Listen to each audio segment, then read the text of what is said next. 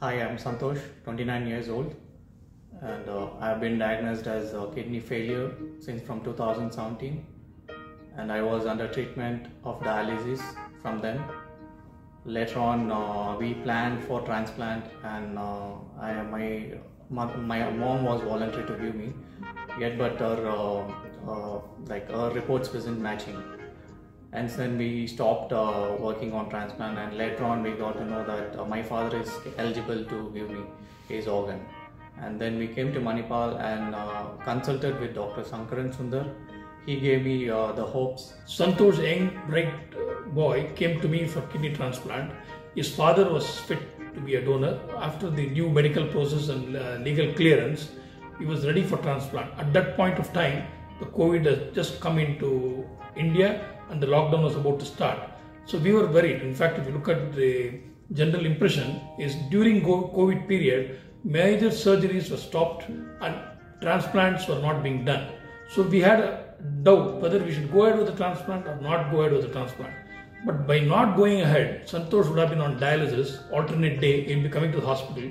And we thought the risk of getting infection if he comes to hospital and travels around maybe more. So after due proper counseling, our whole team decided we should go ahead with the transplant with all precautions. And I should actually congratulate Santosh for having trust in us because trust is the essence of cure. Once we have trust in the hospital and in the doctors, we can work together. And I'm proud to say that Manipal Hospital is something which is unique where all protocols are followed to the core, starting from the entrance where a screening is done, nobody with fever is allowed, and hand sanitization, use of personal uh, protection equipment in the operation theater, in the OPD are all done. So Santosh had a good uh, transplant, he had normal kidney functions, and he got discharged within a week of transplant.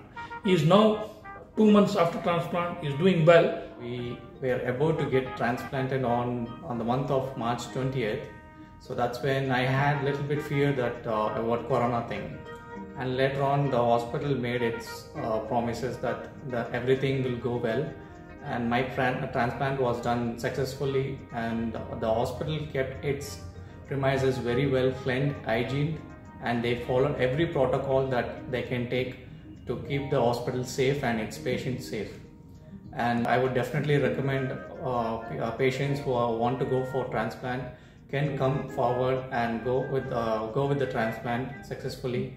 As I am doing well, and I was I, I was into your position, and really I'm doing well right now, and I don't have any fear of uh, this corona thing because the hospital takes care of things uh, very well, and uh, they are really doing great.